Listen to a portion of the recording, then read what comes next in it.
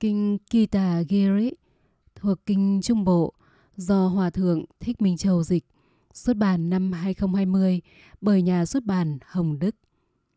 Nhân dịp nói về lợi ích của việc không ăn phi thời, Đức Phật khuyên người tu nên tinh tấn tu học và an trú vào hạnh phúc do dứt các pháp bất thiện. Nhờ đó, người tu tập chứng quả thánh bằng bốn cách. một Câu phần giải thoát 2. Tuệ giải thoát 3. Thân chứng 4. Kiến đáo 5. Tín giải thoát 6. Tùy pháp hành 7. Tùy tín hành Nội dung bài kinh Kita Giri Như vậy tôi nghe, một thời Thế Tôn du hành ở Cà Sĩ cùng với đại chúng tỳ kheo. Ở đây, Thế Tôn gọi các tỳ kheo. Này các tỳ kheo, ta từ bỏ ăn ban đêm. Này các tỳ kheo, do từ bỏ ăn ban đêm, ta cảm thấy ít bệnh, ít não, khinh an, có sức lực và an trú. Này các tỳ kheo, hãy từ bỏ ăn ban đêm. Này các tỳ kheo, do từ bỏ ăn ban đêm, các ông sẽ cảm thấy ít bệnh, ít não, khinh an, có sức lực và an trú.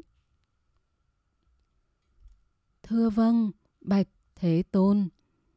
Các tỳ kheo ấy vâng đáp Thế Tôn. Rồi Thế Tôn tiếp tục du hành ở Cà Sĩ và đến một thị trấn ở xứ Cà Sĩ tên là Kitagiri. Rồi Thế Tôn ở tại Kitagiri, một thị trấn xứ Cà Si.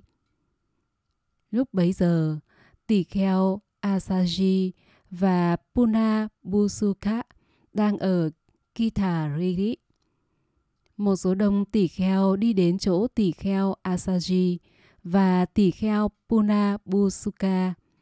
Sau khi đến, nói với tỷ kheo Asaji và tỷ kheo Puna Busuka như sau. Chư hiền, Thế Tôn từ bỏ ăn ban đêm. Cả chúng tỷ kheo cũng vậy. Do từ bỏ ăn ban đêm, các vị ấy cảm thấy ít bệnh, ít não, khinh an, có sức lực và an trú. Chư hiền, hãy đến và từ bỏ ăn ban đêm. Chư hiền, do từ bỏ ăn ban đêm, chư hiền sẽ cảm thấy ít bệnh, ít não, khinh an, có sức lực và an trú. Được nghe nói vậy, tỷ kheo Asaji và tỷ kheo Puna Basuka nói với tỷ kheo ấy. Chư hiền, chúng tôi ăn chiều, ăn sáng, ăn ban ngày và phi thời. Do chúng tôi ăn chiều, ăn sáng, ăn ban ngày và phi thời, chúng tôi cảm thấy ít bệnh, ít não, khinh an, có sức lực và an trú. Sao chúng tôi lại bỏ hiện tại?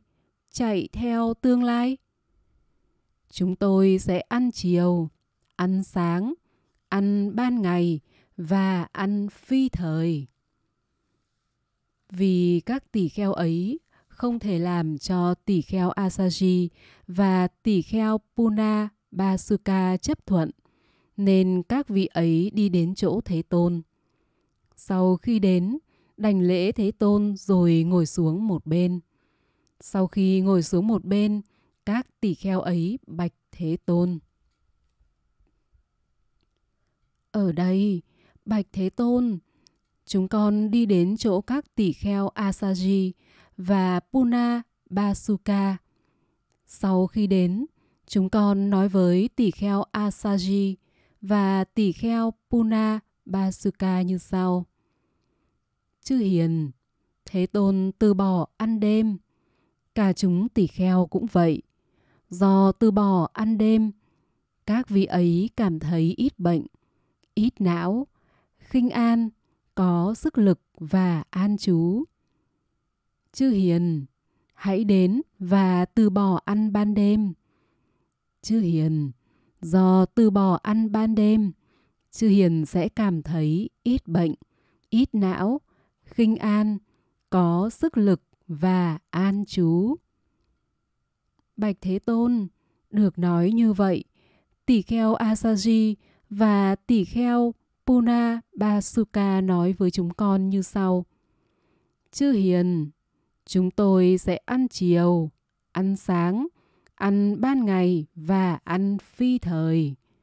Do ăn chiều, ăn sáng, ăn ban ngày và phi thời, chúng tôi cảm thấy ít bệnh, ít não, khinh an, có sức lực và an trú.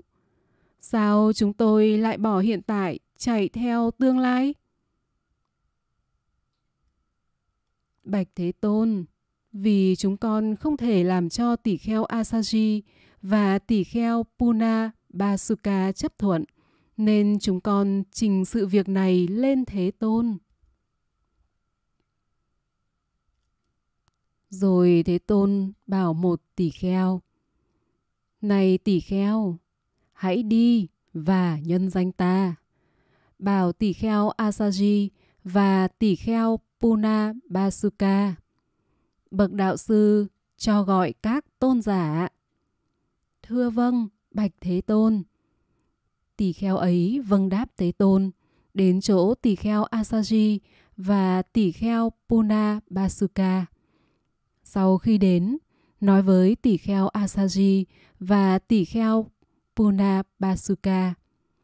Bậc đạo sư cho gọi các tôn giả. Thưa vâng, hiền giả. Tỷ kheo Asaji và tỷ kheo Puna Basuka vâng đáp tỷ kheo ấy, đi đến chỗ Thế Tôn. Sau khi đến, đành lễ Thế Tôn và ngồi xuống một bên. Thế Tôn nói với tỷ kheo Asaji và tỷ kheo Puna Basuka đang ngồi một bên. Có thật chăng? Này các tỷ kheo, một số đông tỷ kheo đến các ông và nói như sau. Chư hiền, Thế Tôn từ bỏ ăn ban đêm, cả chúng tỷ kheo cũng vậy. Do từ bỏ ăn ban đêm, các vị ấy cảm thấy ít bệnh, ít não, khinh an, có sức lực và an trú. Chư hiền, hãy đến và từ bỏ ăn ban đêm. Chư hiền, do từ bỏ ăn ban đêm, chư hiền sẽ cảm thấy ít bệnh, ít não, khinh an, có sức lực và an trú. Được nghe nói vậy, này các tỷ kheo, các ông nói với các tỷ kheo ấy như sau. Chư hiền, chúng tôi ăn chiều, ăn sáng, ăn ban ngày và phi thời. Do ăn chiều, ăn sáng, ăn ban ngày và phi thời, chúng tôi cảm thấy ít bệnh, ít não, khinh an, có sức lực và an trú. Sao chúng tôi lại bỏ hiện tại, chạy theo tương lai? Chúng tôi sẽ ăn chiều, ăn sáng, ăn ban ngày và ăn phi thời. Thưa vâng, Bạch Thế Tôn. Này các tỷ kheo, các ông có hiểu pháp ta dạy như sau. Một cá nhân cảm thọ bất cứ cảm giác nào, lạc, khổ hay bất khổ, bất lạc. Đối với người ấy, các pháp bất thiện được đoạn diệt, các thiện pháp được tăng trưởng. Thưa không, Bạch Thế Tôn. Này các tỷ kheo, các ông có hiểu pháp ta dạy. Ở đây, đối với một người, khi cảm thọ lạc như vậy, khi cảm thọ lạc thọ như vậy, các pháp bất thiện pháp được tăng trưởng, các thiện pháp bị đoạn diệt. Ở đây, đối với một người, khi cảm thọ lạc thọ như vậy, các bất thiện pháp bị đoạn diệt, các thiện pháp được tăng trưởng. Ở đây, đối với một người, khi cảm thọ khổ thọ như vậy, các bất thiện pháp được tăng trưởng, các thiện pháp bị đoạn diệt. Ở đây, đối với một người, khi cảm thọ khổ thọ như vậy, các bất thiện pháp bị đoạn trừ, các thiện pháp được tăng trưởng. Ở đây, đối với một người, khi cảm thọ bất khổ, bất lạc thọ như vậy, các bất thiện pháp được tăng trưởng, các thiện pháp bị đoạn diệt. Ở đây, đối với một người, khi cảm thọ bất khổ, bất lạc thọ như vậy, các thiện pháp ấy bị đoạn diệt, các thiện pháp được tăng trưởng. Thưa vâng, Bạch Thế Tôn. Lành thay, này các tỷ kheo. Này các tỷ kheo, nếu sự việc này ta không biết, không thấy, không giác, không chứng, không liễu giải với trí tuệ rằng ở đây, đối với một người, khi cảm thọ lạc thọ như vậy, các bất thiện pháp được tăng trưởng, các thiện pháp bị đoạn diệt. Có thể chăng? Này các tỳ kheo, không biết như vậy, ta lại nói, hãy từ bỏ lạc thọ như vậy. Và như vậy, này các tỳ kheo, là xứng đáng đối với ta chăng? Thưa không, Bạch Thế Tôn.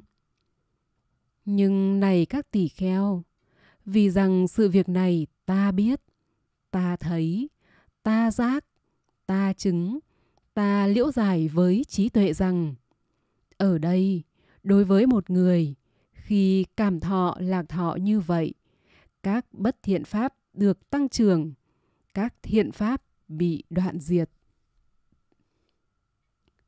Do vậy, ta nói như sau. Hãy từ bỏ lạc thọ như vậy.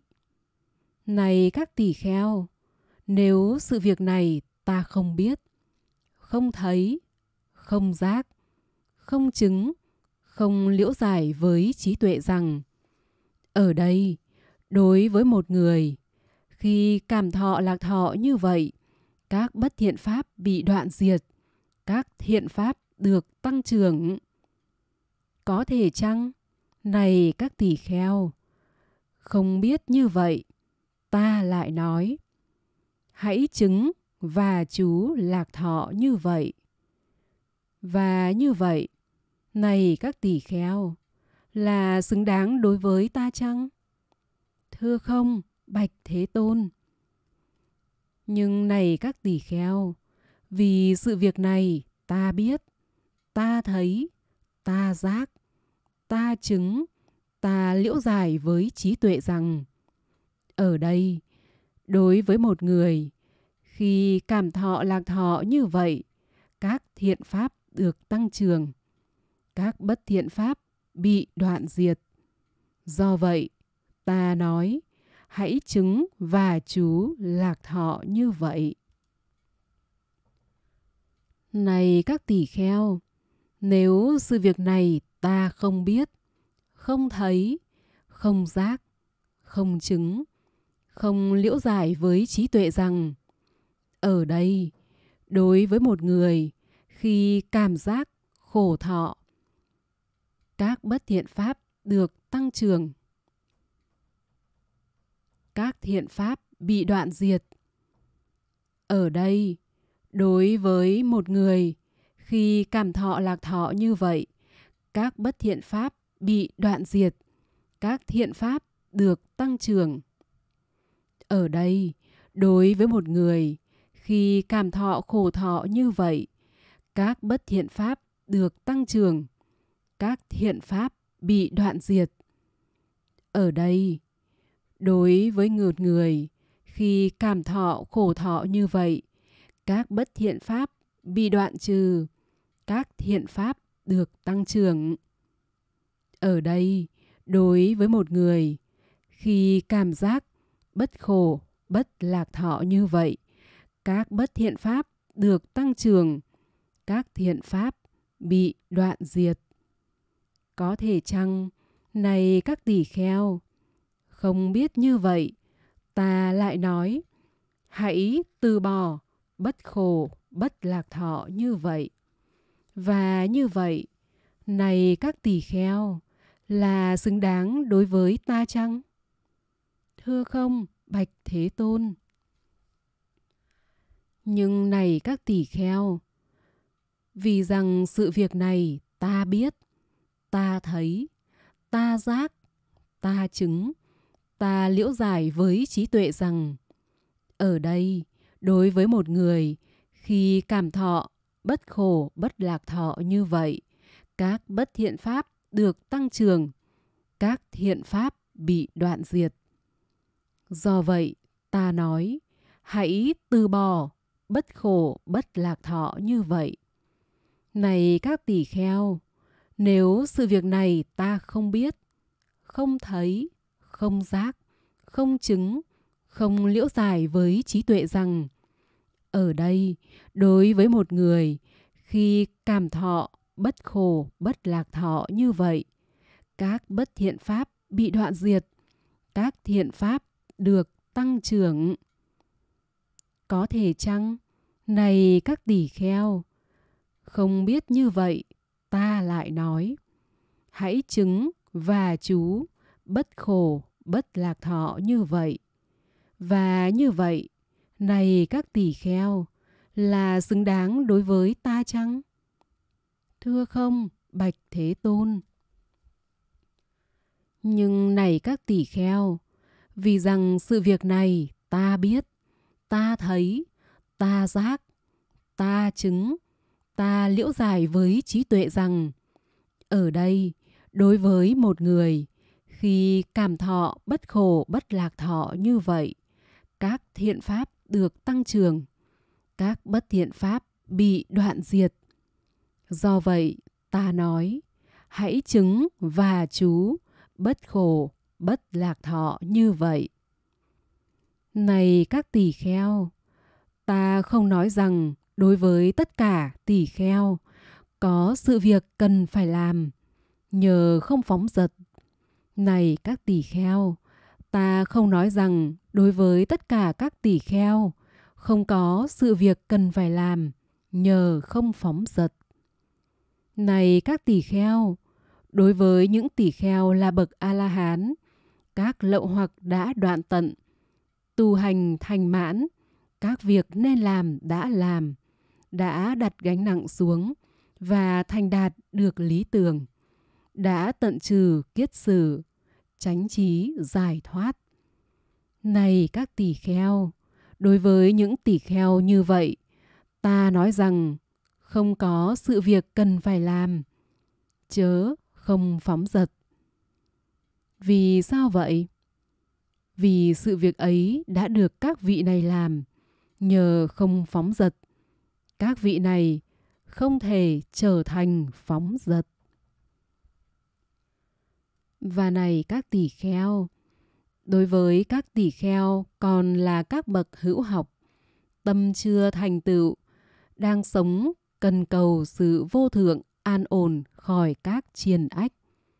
Này các tỷ kheo, đối với những tỷ kheo như vậy, ta nói rằng có sự việc cần phải làm, nhờ không phóng dật.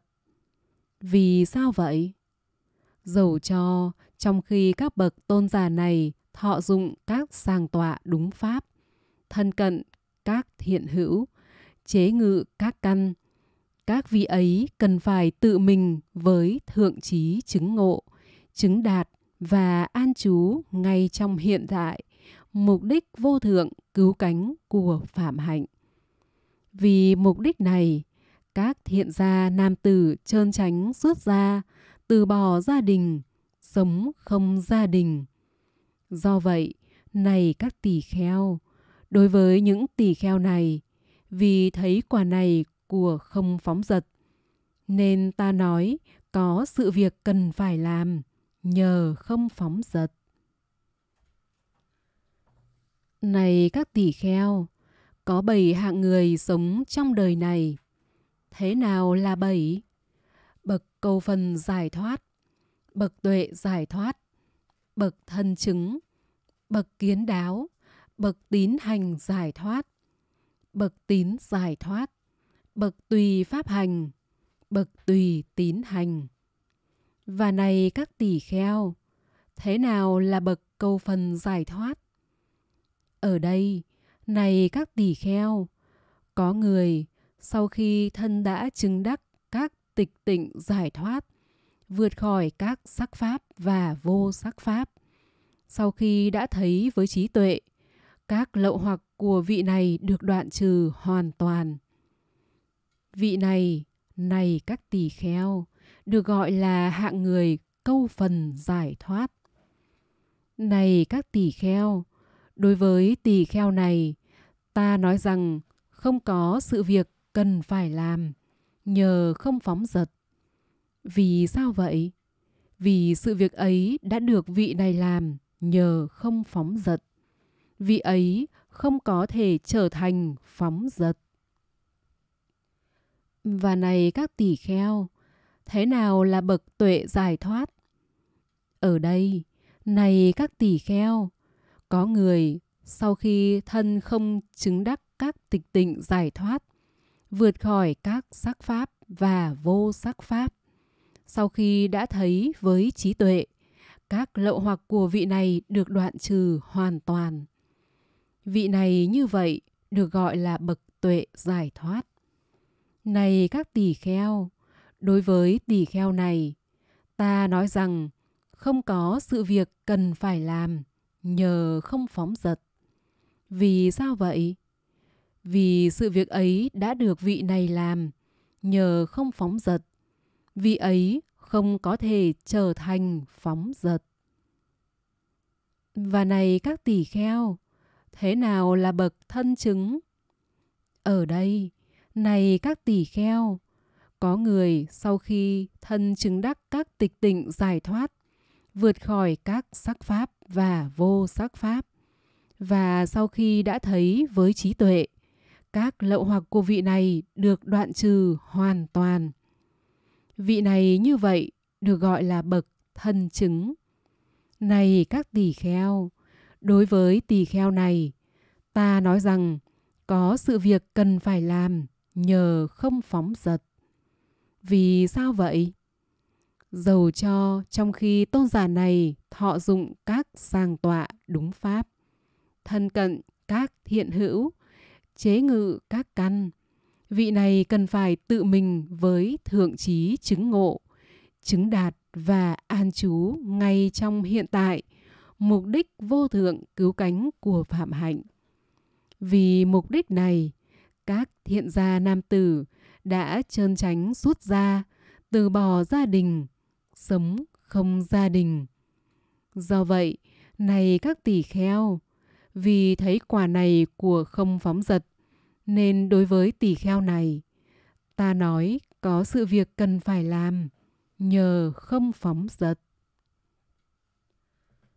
Và này các tỷ kheo, thế nào là bậc kiến đáo? Ở đây, này các tỷ kheo, có người sau khi tự thân không chứng đắc các tịch tịnh giải thoát, vượt khỏi các sắc pháp và vô sắc pháp. Sau khi đã thấy với trí tuệ, các lậu hoặc của vị này được đoạn trừ hoàn toàn. Và các pháp do Như Lai tuyên thuyết được vị này thấy một cách hoàn toàn với trí tuệ và thực hành một cách hoàn toàn. Này các tỷ kheo, vị này được gọi là kiến đáo. Này các tỷ kheo, đối với tỷ kheo này, ta nói có sự việc cần làm, nhờ không phóng dật. Vì sao vậy? Dầu cho trong khi tôn giả này thọ dụng các sang tọa đúng cách, thân cận các thiện hữu, chế ngự các căn, nhưng vị này cần phải tự mình với thượng trí chứng ngộ, chứng đạt và an trú ngay trong hiện tại. Mục đích vô thượng cứu cánh của Phạm Hạnh. Vì mục đích này, các thiện gia nam tử chân chánh, xuất gia, từ bỏ gia đình, sống không gia đình. Do vậy, này các tỷ kheo, vì thấy quả này của không phóng dật, Nên đối với tỷ kheo này, ta nói có sự việc cần phải làm, nhờ không phóng dật. Và này các tỷ kheo, thế nào là hạng người tín giải thoát? Ở đây, này các tỷ kheo, có người sau khi tự thân không chứng đắc các tịch tịnh giải thoát, vượt khỏi các sắc pháp và vô sắc pháp, sau khi đã thấy với trí tuệ, các lậu hoặc của vị này được đoạn trừ một cách hoàn toàn. Và lòng tin của vị này đối với Như Lai được xác định, phát sinh từ căn, để, an chú Và này các tỷ kheo, vị này được gọi là bậc tín giải thoát. Và này các tỷ kheo, đối với tỷ kheo này, ta nói có sự việc cần phải làm nhờ không phóng dật. Vì sao vậy? Dầu cho trong khi tôn giả này thọ dụng các sàng tọa đúng pháp, thân cận các thiện hữu, chế ngự các căn, nhưng vị này cần phải tự mình với thượng trí chứng ngộ, chứng đạt và an trú ngay trong hiện tại, mục đích vô thượng cứu cánh của Phạm Hạnh. Vì mục đích này, các thiện gia nam tử chân chính, xuất gia, từ bỏ gia đình, sống không gia đình. Do vậy, này các tỷ kheo, vì thấy quả này của không phóng dật, nên đối với tỷ kheo này, ta nói có sự việc cần phải làm nhờ không phóng dật. Và này các tỷ kheo, thế nào là hạng người tùy pháp hành? Ở đây, này các tỷ kheo, có người sau khi tự thân không chứng đắc các tịch tịnh giải thoát, vượt khỏi các sắc pháp và vô sắc pháp. Sau khi đã thấy với trí tuệ, nhưng các lậu hoặc không được đoạn trừ một cách hoàn toàn, và các pháp do Như Lai tuyên thuyết chỉ được vị này chấp nhận một cách vừa phải với trí tuệ. Dầu cho vị này có những pháp như là tín căn, tấn căn, niệm căn, định căn, tuệ căn. Này các tỷ kheo, vị này được gọi là người tùy pháp hành. Này các tỷ kheo, đối với tỷ kheo này, ta nói có sự việc cần phải làm, nhờ không phóng dật. Vì sao vậy? Dầu cho trong khi tôn giả này thọ dụng các sàng tọa đúng pháp, thân cận các thiện hữu, chế ngự các căn, nhưng vị này cần phải tự mình với thượng trí chứng ngộ, chứng đạt và an trú ngay trong hiện tại, mục đích vô thượng cứu cánh của Phạm Hạnh. Vì mục đích này, các thiện gia nam tử chân chính, xuất gia, từ bỏ gia đình, sống không gia đình. Do vậy, này các tỳ kheo, vì thấy quả này của không phóng dật, nên đối với tỳ kheo này, ta nói có sự việc cần phải làm nhờ không phóng dật. Và này các tỳ kheo, thế nào là người tùy tín hành?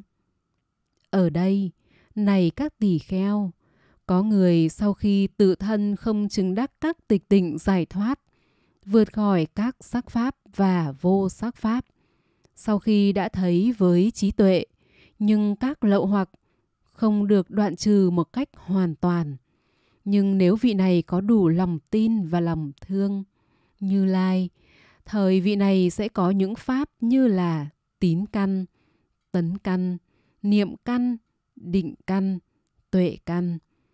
Này các tỳ kheo, vị này được gọi là người tùy tín hành. Này các tỳ kheo, đối với tỳ kheo này, ta nói có sự việc cần phải làm, nhờ không phóng dật. Vì sao vậy? Dầu cho trong khi tôn giả này thọ dụng các sang tọa đúng pháp, thân cận các thiện hữu, chế ngự các căn, nhưng vị này cần phải tự mình với thượng trí chứng ngộ, chứng đạt và an trú ngay trong hiện tại, mục đích vô thượng cứu cánh của Phạm Hạnh. Vì mục đích này, các thiện gia nam tử chân chính, xuất gia, từ bỏ gia đình, sống không gia đình.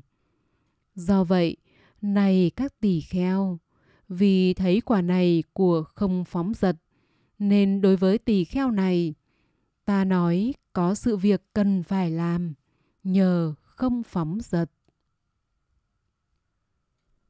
Này các tỷ kheo, ta không nói rằng trí tuệ được hoàn thành lập tức. Nhưng này các tỷ kheo, trí tuệ được hoàn thành nhờ học từ từ, hành từ từ, thực tập từ từ. Và này các tỷ kheo, thế nào là trí tuệ được hoàn thành nhờ học từ từ, hành từ từ, thực tập từ từ? Ở đây, này các tỷ kheo, một vị có lòng tin đi đến gần. Sau khi đi đến gần, vị ấy tỏ sự kính lễ. Sau khi tỏ sự kính lễ, vị ấy lóng tai. Sau khi lóng tai, vị ấy nghe Pháp. Sau khi nghe Pháp, vị ấy thọ trì Pháp. Vị ấy suy tư ý nghĩa của các Pháp được thọ trì. Sau khi suy tư ý nghĩa, các Pháp được chấp thuận. Sau khi các Pháp được chấp thuận, ước muốn sinh khởi. Sau khi ước muốn sinh khởi, vị ấy nỗ lực. Sau khi nỗ lực, vị ấy cân nhắc. Sau khi cân nhắc, vị ấy tinh cần. Do tinh cần, vị ấy tự thân chứng được sự thật tối thượng và với trí tuệ thể nhập sự thật ấy vị ấy thấy.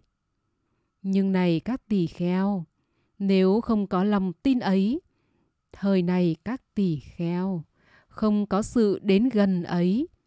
Thời này các tỳ kheo không có tỏ sự kính lễ ấy. Thời này các tỳ kheo không có sự lóng tai ấy. Thời này các tỳ kheo không có sự nghe pháp ấy thời này các tỳ kheo, không có sự thọ trì pháp ấy. Thời này các tỳ kheo, không có sự suy tư ý nghĩa ấy. Thời này các tỳ kheo, không có sự chấp thuận pháp ấy. Thời này các tỳ kheo, không có sự ước muốn ấy. Thời này các tỳ kheo, không có sự nỗ lực ấy thời này các tỳ kheo, không có sự cân nhắc ấy. Thời này các tỳ kheo, không có sự tinh cần ấy. Này các tỳ kheo, ở đây các ông đã đi vào phi đạo. Này các tỳ kheo, ở đây các ông đã đi vào tà đạo. Thật là quá xa. Này các tỳ kheo các kẻ ngu này đã đi ra ngoài pháp và luật này. Này các tỳ kheo, có sự thuyết trình gồm có bốn phần. Hay bốn cú. Chính nhờ thuyết trình này, người có trí không bao lâu, nhờ tuệ biết được ý nghĩa, ta sẽ đọc sự thuyết trình ấy lên cho các ông này các tỳ kheo, các ông nhờ ta sẽ hiểu thuyết trình ấy. Bạch thế tôn, chúng con là ai có thể biết được pháp? Này các tỳ kheo, cho đến một bậc đạo sư sống quá trọng vọng tài vật và vị thừa tự tài vật và sống liên hệ với tài vật, thời sự mua may bán đắt này không xảy ra. Như vậy, chúng tôi sẽ làm việc này. Và như vậy, chúng tôi sẽ không làm việc này. Huống nữa là như lai. Này các tỳ kheo, là vị sống hoàn toàn, không liên hệ với các tài vật. Này các tỳ kheo, đối với một đệ tử có lòng tin giáo pháp bậc đạo sư và sống thể nhập giáo pháp ấy thời tùy pháp được khởi lên bậc đạo sư là thế tôn đệ tử là tôi. Thế Tôn biết, tôi không biết. Này các tỷ kheo, đến với một đệ tử có lòng tin giáo pháp bậc đạo sư và sống thể nhập giáo pháp ấy. Thời giáo pháp bậc đạo sư được hưng thịnh, được nhiều sinh lực. Này các tỷ kheo, đối với đệ tử có lòng tin giáo pháp bậc đạo sư và sống thể nhập giáo pháp ấy, thời tùy pháp này được khởi lên. Dầu chỉ còn da, gân và xương. Dầu thịt và máu trên thân bị khô héo. Mong rằng sẽ có tinh tấn lực để chứng đắc những gì chưa chứng đắc. Nhờ trượng phu nhẫn nại, nhờ trượng phu tinh tấn, nhờ trượng phu cần dõng. Này các tỷ kheo, đối với một đệ tử có lòng tin giáo pháp bậc đạo sư và sống thể nhập giáo pháp ấy, vị ấy sẽ có chứng được một trong hai quả sau. Chánh trí ngay trong hiện tại và nếu có dư y, chứng quả bất hoàn. Thế Tôn thuyết như vậy, các tỳ kheo ấy hoan hỉ tín thọ lời Thế Tôn dạy.